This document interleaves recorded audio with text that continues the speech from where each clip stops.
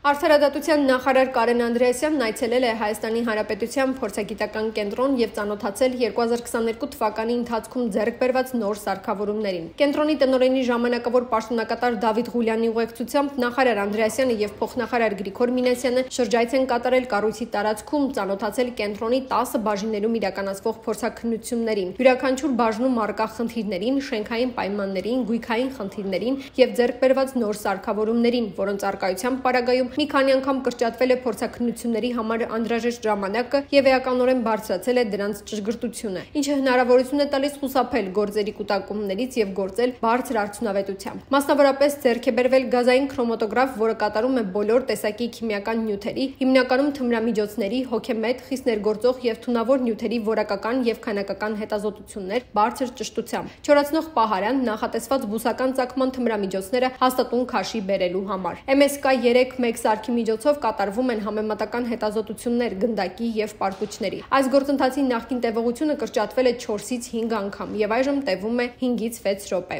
Իգ-Ֆուրիա սպեկտրաչափ սարքը հնարավորություն է տալիս որոշել օրգանական նյութերի տեսակները։ Նախկինում այս գործընթացը տևում էր 15-ից 20 րոպե, այժմ ընդամենը 1-2 րոպեի ընթացքում հնարավոր է ստանալ արդյունքը։ 5 քրոմատոգրաֆիկական սարքերը փոխարինվել են նոր ավտոմատացված ներարկման համակարգով։ Crystal 5000 սարքն այժմ թույլ կտա նախկին 4-ից 5 ժամ տևողությամբ աշխատանքներն իրականացնել ընդամենը 30-ից 40 րոպեում։ Ռենտգեն ապարատը կատարում է էլեմենտային տարերի որակական եւ քանակական հետազոտություն։ Նավթամթերքի որակական ցուցանիշների որոշման համար նախատեսված սարքավորումները թույլ են տալիս բաց եւ փակ հանքանյութերում բռնկման ջերմաստիճանը որոշել։ Նավթամթերքի մասազտիչ թորման ավտոմատ հետազոտություն նախկինում այս գործընթացը կարող էր տևել 1-ից 2 ժամ։ Այժմ այն ընդամենը կտևի առավելագույնը 1-ից 3 րոպե։ Հիշեցնենք, որ փորձագիտական կենտրոնի բարեփոխումների շրջանակում դեռևս 2021 թվականին կառավարության որոշմամբ եւ վարչապետ Նիկոլ Փաշինյանի հատուկ հոգացությամբ բարձրացվել են կենտրոնի աշխատակիցների աշխատավարձերը։ Իսկ 2022 թվականից մեկնարկած նոր սարքավորումների ձեռքբերումը կրելու է